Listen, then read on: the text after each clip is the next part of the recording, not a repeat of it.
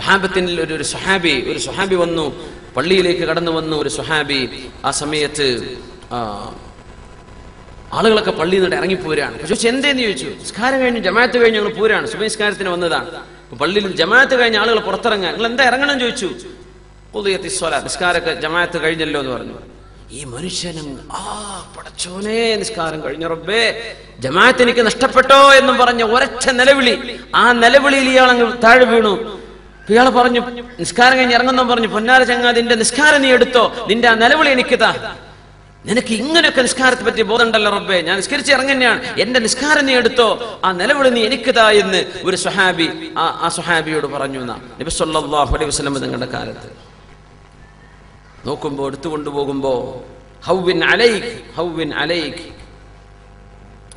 സാരില്ല ഒന്ന് സമാധാനിക്ക് സാരില്ല നിസ്കാരത്ത് കഥായിട്ട് പോലുമില്ല ജമാഅത്ത് പള്ളിയിലെ ആദ്യത്തെ ഇമാമോട് കൂടെയുള്ള നിസ്കാരം നഷ്ടപ്പെട്ടിട്ടേ ഉള്ളൂ ഒരു സുഹാബിയാണിത് അഷറഫുൽ ഹൽക്ക സല്ലാസ് ഞങ്ങൾ ജീവിച്ചിരിക്കുന്ന കാലത്ത് നോക്കുമ്പോൾ അദ്ദേഹം മരിച്ചിട്ടുണ്ട് വഫാത്തായിട്ടുണ്ട് രാത്രി രാത്രി സമയം ഈ കൂട്ടുകാരൻ ആ, സ്വപ്നം കണ്ടിരിക്കുകയാണ് لقد اشتريت جوهر الحياة وشفاء الروح فبحرقة هذه الله وبصدم هذا الندم قبلت صلاة الناس كافة ഈ ഒരു മനുഷ്യന്റെ കടന്നുവരലും ആ മനുഷ്യന്റെ നിലവിളിയും കാരണം ആ പള്ളിയിൽ നിന്ന് നിസ്കരിച്ച മുഴുവൻ ആളുകളുടെ നിസ്കാരം അള്ളാഹു സ്വീകരിച്ചിരിക്കുന്നു എന്ന് ഈ സുഹാബിക്ക് ഇയാളോട് നോക്കി പറഞ്ഞില്ലേ? നിന്റെ നിലവിളി എനിക്ക് താ എന്റെ നിസ്കാരം നീ എടുത്തോ എന്ന് പറഞ്ഞാൾക്ക് അള്ളാഹു സ്വപ്നദർശനം കൊടുത്തു. മഹാന്മാർ ഇത് ഉദ്ധരിച്ചിട്ടുണ്ട് ഹദീസുകളിൽ സംഭവം.